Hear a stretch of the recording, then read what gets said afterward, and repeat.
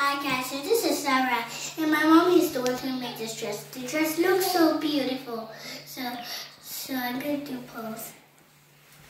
So first, I'm going to tell you everything about about it. Cause, do you know why I went to why they made this dress? Cause, cause, cause it's going to be my brother Christian, and it's my mommy who made this dress. I'm going, to show all I. hi guys. Welcome back to my channel. Thank you so much for stopping by. Thank you for the love. It's been a long time that i've posted and i've been doing well. I've just been busy making some clothes for my family for my baby's christening. Do well subscribe to my channel turn on the bell icon so you'll be notified anytime i post a video. I'll be showing you how i made this dress my five-year-old daughter is rocking. If you like to see how I achieved the bow, please leave a comment in the comment section and I'll be glad to make a video of it. Thank you.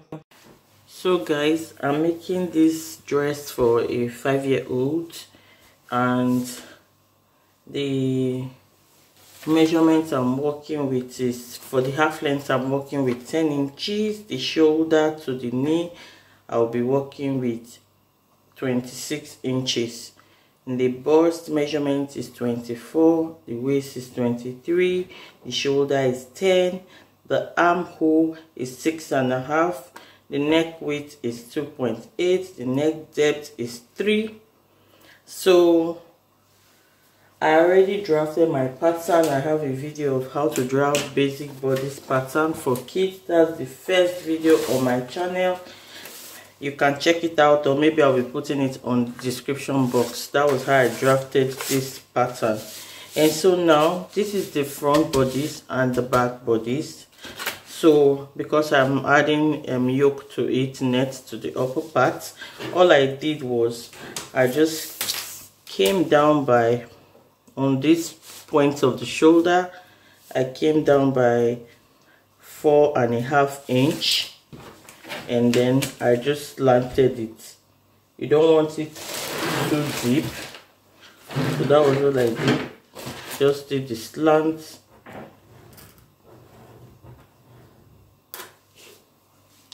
This is for the front and I will cut this out. When I cut this you can see that the measurement of the bodice is 10 inches but I added 1 inch seam allowance one inch seam allowance and then half inch seam allowance for the shoulder. So now when i cut this one out i'm going to add half inch to this place. That's when i'm placing it on my fabric. I'll make sure that i add half inch to this and half inch to this part. It is that half inch you use to join it back together so that you get the exact length that you have already drafted out. And then for the back body i did exactly the same thing I just slanted it too. Is a slant. I did a slant and then I want it to be like a V at the back. And then I just connected it to the neck. And this is it. So this part should be like the net, the tulle, and this will be fabric. So all this part is not useful. I'm just going to go ahead now and then cut it out. And then the same thing when you place it on your fabric you add half inch to this part and half inch to this part. So this is how I'm going to cut it out.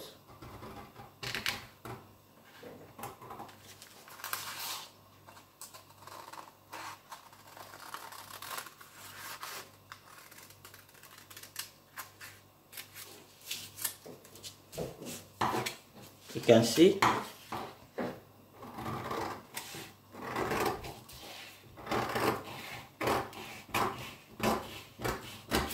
so this is it so when i want to cut this one on my fabric i will make sure to add half an inch. And then this one the same thing i'm going to add half an inch. That is the seaming allowance. And i will do the same thing for the front i'll make sure i add half an inch to it. So i'm just going to cut it out.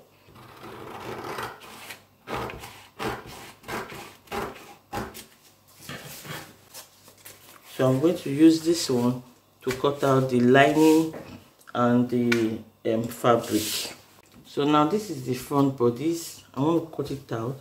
So i'll add half an inch. This is all you need to do. Just add half an inch to it so that you can use to seam it and then you cut it out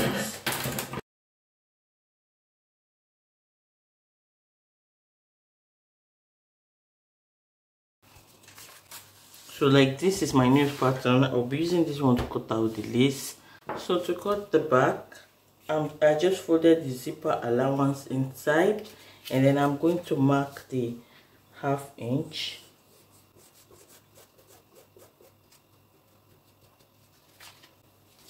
And then after then this i'm going to cut it like so. So i've opened back the zipper allowance and i'll cut it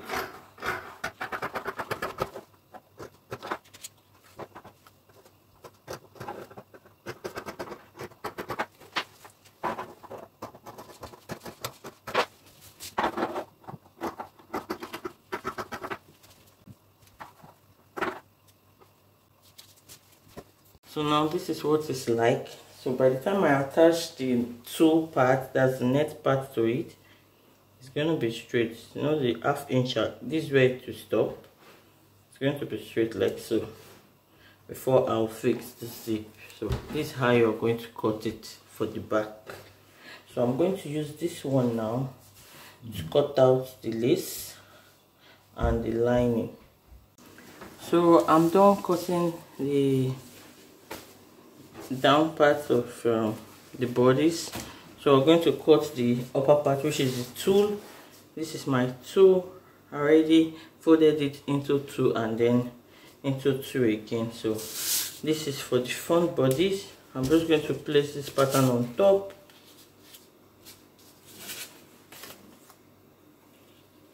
So i like to double my tulle because you know tulle can easily tear. So now I'm going to add my half inch. Add your half inch and then you can cut it out.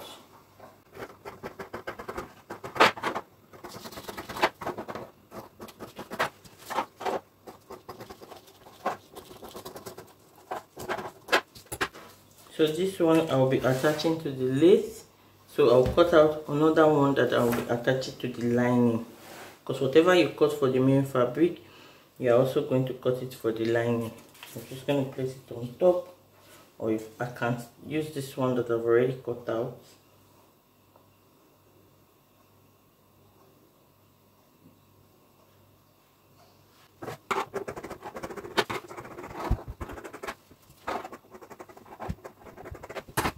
No, we are attaching this one to the main fabric and this to the lining. This for the front. I'm going to set that aside. I'm going to cut the back which is this one. So i can just cut it together both the main fabric and the lining. So this is for the main fabric and the lining. That's what i have here. So now i'm done cutting the upper part. Just going to set it aside so now to cut the down part i'll be using 720 degrees peplum. 720 degrees peplum is actually 260 360 degrees into two places. Because if you add 360 plus 360 to give you 720 and you know how you normally fold your fabric for um 360 is you fold it into two like so and then fold it again like so. That, that that's for your 360 you fold it into four places. But i have actually folded mine into eight places because i'm cutting it together. Now i have my fabric folded into two like so. It's folded into two. And i folded it again into two again. So this this one now is like the first peplum like the first 360 and this one will be like the second 360 because if I fold it into two I have my 360 square. So I folded it into two because my fabric is by 60 so I folded it into two like so. And then fold it again into another two. And then just fold it once like so if you don't understand what i'm saying you can actually cut 360 and cut another 360 then you join them together. To give it the same thing but i just want to cut mine once so the formula for getting your 720 is the waist measurement. And the waist measurement i'm working with is 23 inches. I'm going to divide 23 inches by 2 it will give me 11.5 plus 2 inches seam allowance. The seam allowance is the half one inch I will use to join the two peplum together. That is half inch on one side half inch on the other side. Will give me one inch. And then the other one inch is for my zipper. So your waist measurement divided by 2 waist measurement for this child i'm working working with is 23 inches. Divided by 2 i have 11.5 plus 2 inches seam allowance. I will now have 13.5 so that 13.5 i'm going to divide it by 6.28 which is the um, formula for calculating your radius. If you divide 13.5 by 6.28 you have 2.14 which i'm going to approximate to be 2.1 if i was not cutting it 720 if it was 360 i would just divide that 23 inches which is the waist measurement by 6.28 and it will give me what i will mark out. So now what i'm what i have is 2.14 which is approximately 2.1 that's for the waist and the circumference of the 720 so there's still another formula but i feel like this formula is straightforward this one is straightforward if you use the other formula it will still give you the same 2.2 2.1 inch. That one is your waist measurement which is 23 inches plus 3 inches seam allowance which will give you 26 inches. And divide that 26 by 2 it will give you 2.07 if you divide 26 by 2 to give it 13 and then you divide 13 by 6.28 which will give you 2.07 if you approximate 2.07 it will give you 2.1 so but i prefer this other formula. First of all you divide the waist measurement by 2 which is 23 divided by 2 is very straight plus 2 inches seam allowance we give you 13.5 now divide that 13.5 by 6.28 it will give you 2.1 so i'm going to mark 2.1 here. Make sure that before you put your fabric on fold you have measured the full length of the fabric so that you'll be able to get what you actually need. The length of the peplum i'm cutting will be 10 inches. So now i'm going if you add that um 2.1 plus 10 inches to give me 12.1 so i choose to mark 12.1 here first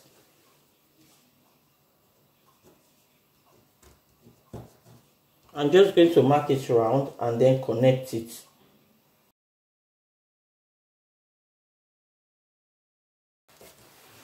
So after doing this, I'm going to measure my 2.1 here.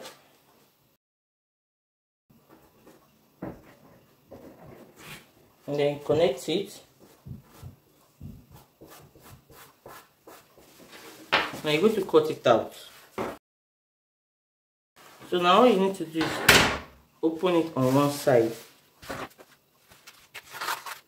If you want the joining to be at the front you leave it like so.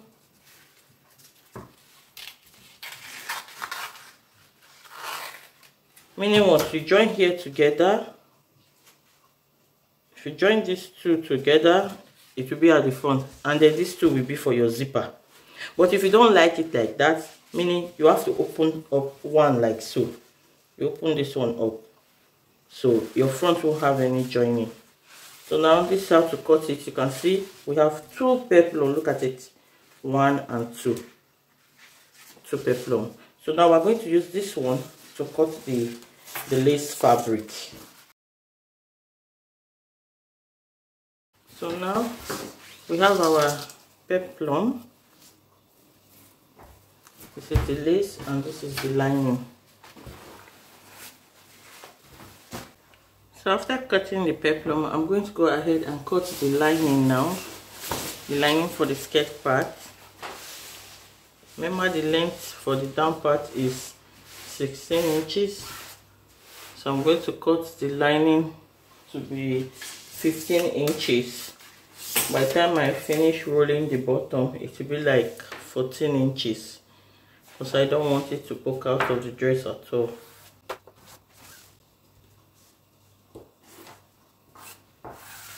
so this is the length and the width of this lining is 60 inches.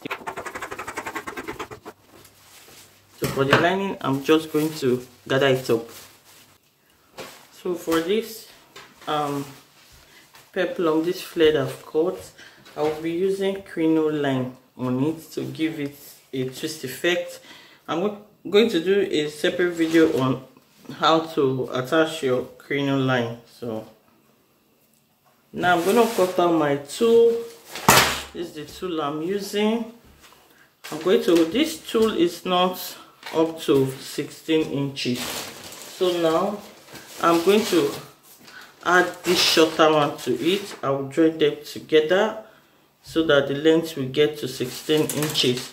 And then the part where the joining is going to show i'm just going to put it at the top side. So this um, peplum will be covering it. Nobody will see it. So nobody will see it. So by the time i join it together i'll be able to have my 16 inches length. Yeah so i have 16 inches. If i join it together i'm to place it on top and just press it. So i'm going to measure five yards into two places for this one the same thing for this one. Five yards into two places gather the five yards up and step it on top of each other before this one will be on top of it. So i'll cut out five yards for this five yards for this and join them together because this one the length is not as long as 16 inches which i need. So what i'm cutting down from this is actually 10 yards and 10 yards and then I will join it together to give me the length of 16 inches and then I will gather them 5 5 yards separately. So guys I've attached the tulle to the bodice. All I did was um, sew the Duchess satin. I just sewed it with the lace and then I attached this you can see? After attaching it I, I pressed it down. I did the same thing for the back and then I've done the lining too. You can see? Done the lining too. So now I'm going to join the main fabric on the shoulder just like I normally do. I'm going to join it on the shoulder with a half inch. And then I will join it on the shoulder to with the lining I will do the same thing for the lining on the shoulder. After doing that I will turn it around the neck. And I'm going to stop here this point where that zipper is going to start where the tulle ended. So I'm going to turn it around the neck and then around the armhole too.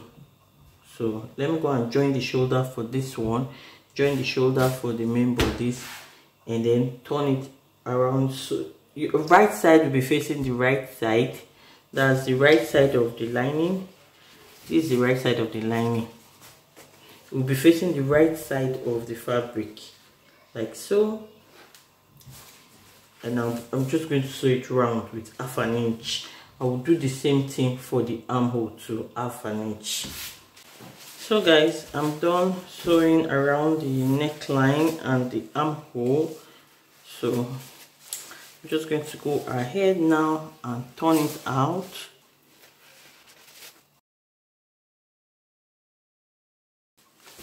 So after turning it out this is what it's gonna look like. So the next thing is I'm going to give it a press. I'm going to press it. And then I'm going to take this front bodice and the back. That's the main fabric. And I'm going to stitch my allowance. I'm going to stitch one inch down to the end of the lining. And I'm going to do the same thing for the other side. so i'm done doing the peplum adding crinoline to the peplum. And this is it. This is what i have as the peplum.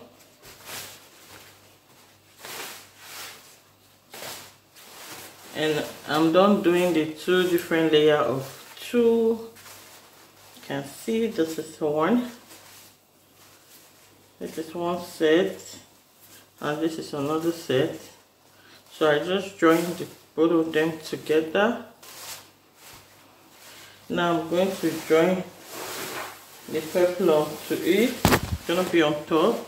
You see why I said I can actually join my tulle here and nobody will see this line because the peplum is going to be covering it.